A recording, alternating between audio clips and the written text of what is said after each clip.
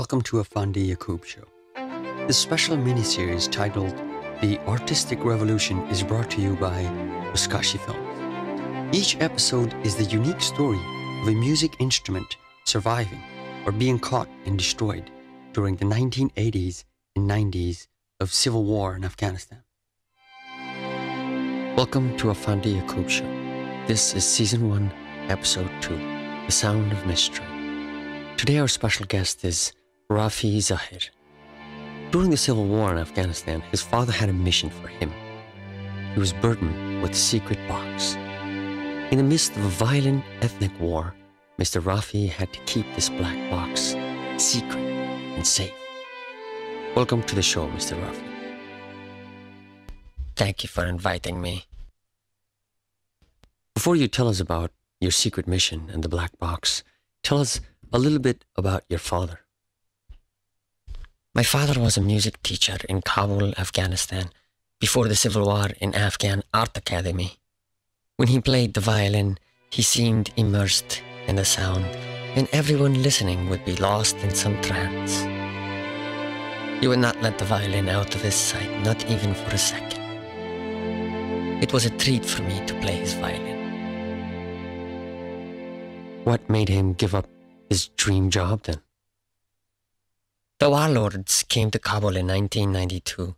All the people were cheering and happy for the victory of Muslim warriors who defeated the Russians and the communist government. A few people like my father were not very happy about the warlords' victory. They started shutting schools down and condemning and associating anything with heresy.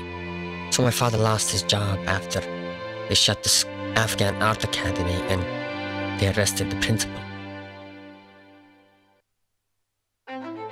What happened to your father when they shut the school down?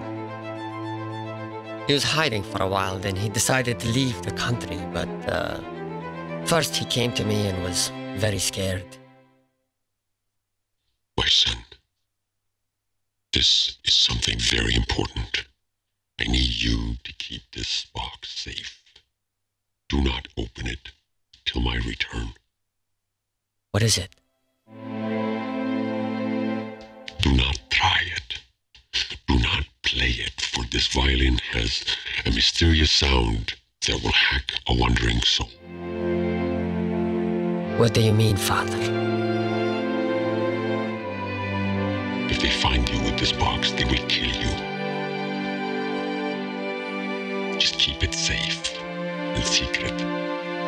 There will be music in the future. I have hope. Years later, I found out he'd given me this black box, the last violin in Afghanistan. All music is banned, and playing music is a crime. They started burning instruments and persecuting musicians and music teachers. Trials were very brief, and hanging was usual in the middle of an intersection to put fear in the hearts of people. Fear was the weapon, and it was working very well. How did you keep it safe when the Civil War got worse? I started uh, selling gum and cigarettes in the town market with a friend of mine. He would come over sometimes, and I started to trust him. And I wanted to tell someone about the violin. And I had had to keep it secret for a long time. I opened it and played it a few times alone. So you told your friend about the violin. And then what happened?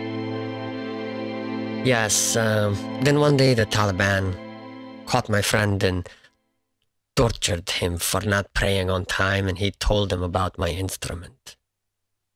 They came and arrested both of us again, and we were taken to Big Shot Commander, and he started screaming and yelling.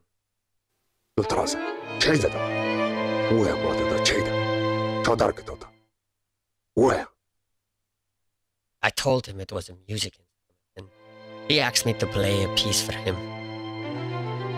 We fell in love with this sound, just like my father had told me about the mystery of sound hacking into a soul. He asked me to stay with him, and he would not tell anyone about this as long as I played for him every night. This Taliban commander broke every loyalty and his love for the sound saved the last violin in Afghanistan. Wow. That's very, very unusual ending. Where's the violin now? I still have it, and I'm attending a music school here in Berlin. I have hope to go back one day when Afghanistan is stable again so I can start teaching music just like my father. Mr. Rafi, thank you for sharing your inspiring story with us, and we wish you the best and hope that one day you'll return when it's stable again, so the whole country can have the privilege of enjoying the mysterious sound of your father's violin. Afghanistan currently desperately needs ambitious, talented, courageous artists like yourself to heal the wounds of the past to create a harmonious future. Thank you for having me. It was therapeutic talking to you. Thanks to our listeners. We will see you next time.